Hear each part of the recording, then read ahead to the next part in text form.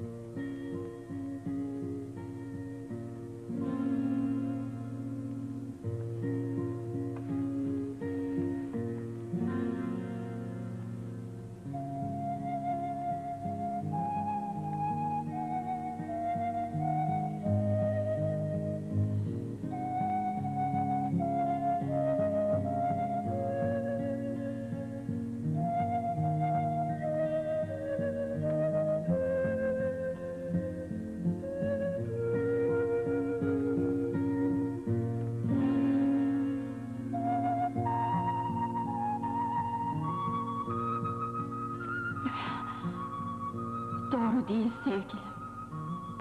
Bekleyeceksin, Ne zamana kadar?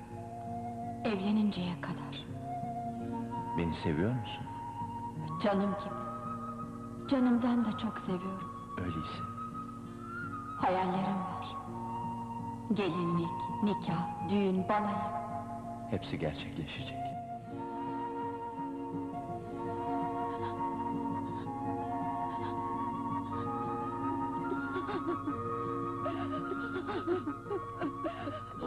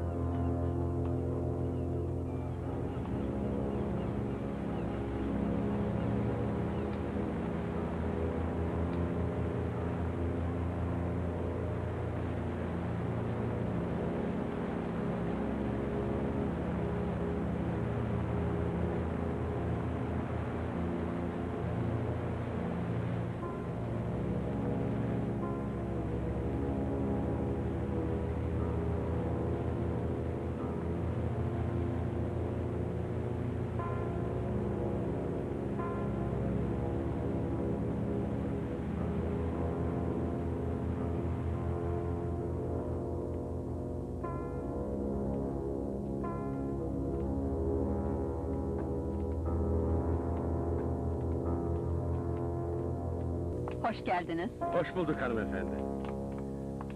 Buyurun doktor bey. Hoş Hastamız nasıl? Bugün daha iyi, buyurun.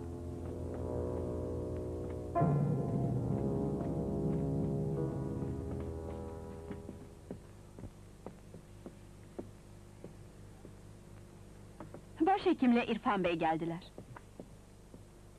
Hoş geldiniz beyler. Merhaba, nasılsınız? Sağ ol.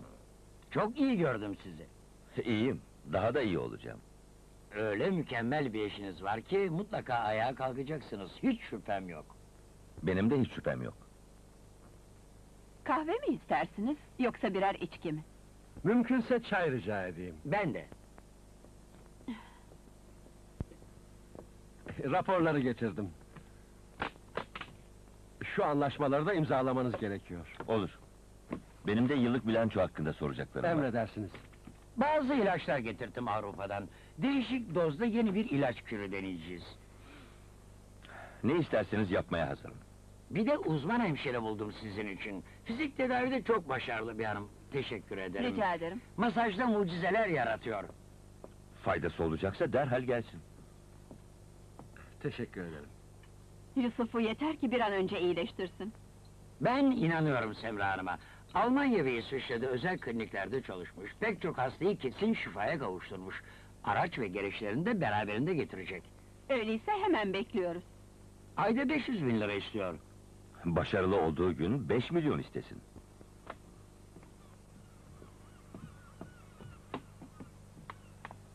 Buyurun. Gidebiliriz kaptan. Gelecek hemşire için bir oda gerekli. Uşağın bitişiğindeki odayı hazırlayacağım yarın. Masaj masası için de şurada yer açmalı. Elektrotlarına da ayrı bir yer bulmalı. Kendisine sorarız. Neler istiyorsa söyler. Şu yeni ilaçla başlayalım. Kendine güven duygusunu güçlendirirmiş. Adı da mutluluk müjdesiymiş. Benim mutluluk müjdem sensin. Borcumu da elbet bir gün ödeyeceğim. Nasıl? Ayağa kalktığım gün elimden çekeceğini var. İyi geceler. Sana da.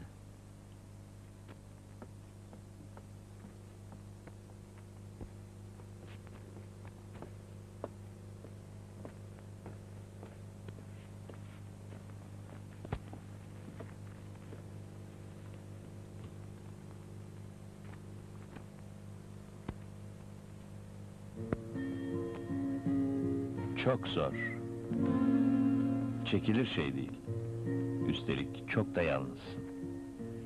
Ne bu samimiyet? Kiminle konuşuyorsun? Affedersin. Nedir istediğin? Misafirleri götürdüm. Başka bir emriniz var mı? Hayır. Yatabilirsin.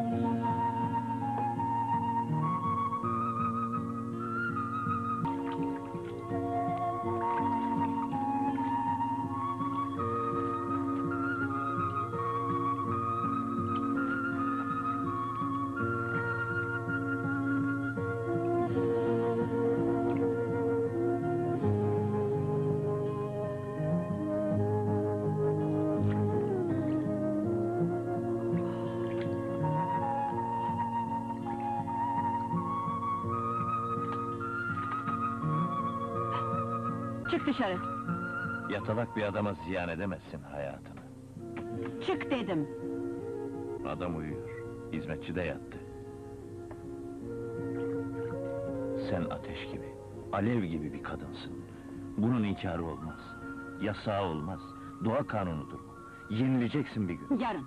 Yarın sabah kovulacaksın. Yalnız kendimi değil, seni de düşünüyorum. Sana da acıyorum. Bağırmıyorsam korkumdan değil. Kocamı boş yere üzmemek için. Çık dışarı. Duysa ne yapabilir? Ama peki, sana tapıyorum. Çok pişmanım.